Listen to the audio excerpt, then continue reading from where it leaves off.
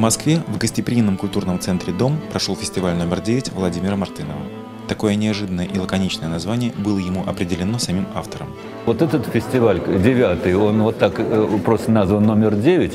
Конечно, почему номер девять? Потому что ну, вот как-то это такое роковое число, там девять симфоний Бетховена, девять Брукнера, девять Малера, там законченных, да? Живой классик, неокомпозитор и автор многих научно-популярных статей. Его считают продолжателем идей минималистов-сериалистов 20 века – Стива Райха, Терри Райли, Джона Кейджа. Но его неоспоримые достоинства перед западными коллегами именно в том, что он работает в русском культурном и духовном пространстве. Этот фестиваль прежде всего характерен своими сюрпризами, а именно очень несовместимыми, на первый взгляд, вещами, которые звучали. Во-вторых, очень яркими в любом случае вещами, очень важными для современного вот состояния музыкальной культуры, мировой, не только ситуации в России. И э, парадоксальной какой-то своей даже внутренней логикой этих, казалось бы, несовместимых вещей. Случайных слушателей на этом музыкальном празднике не было. Однако зал был заполнен до отказа все дни фестиваля. И не по причине его элитности, а просто за 9 лет уже образовался свой слушатель, понимающий и подготовленный.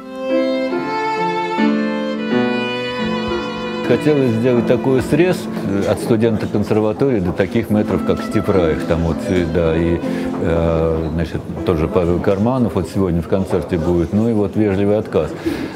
Все творчество Владимира Мартынова – истолкование одного текста при помощи другого. Пожалуй, мало кто так остро ощущает не только связь времен, но и единство всей музыки мира, от классики и рока до фольклора и знаменного распева.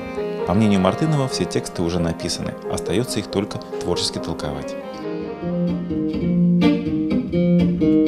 Zehn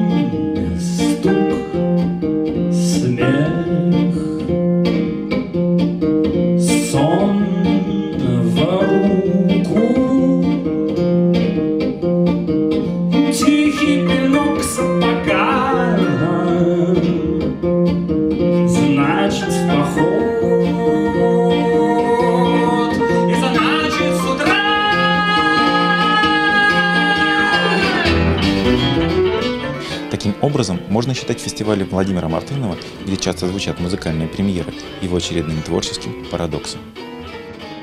Екатерина Полукарова, Сергей Крестьянинов, Виталий Шакуров, Дмитрий Сафонов специально для Global Inform TV.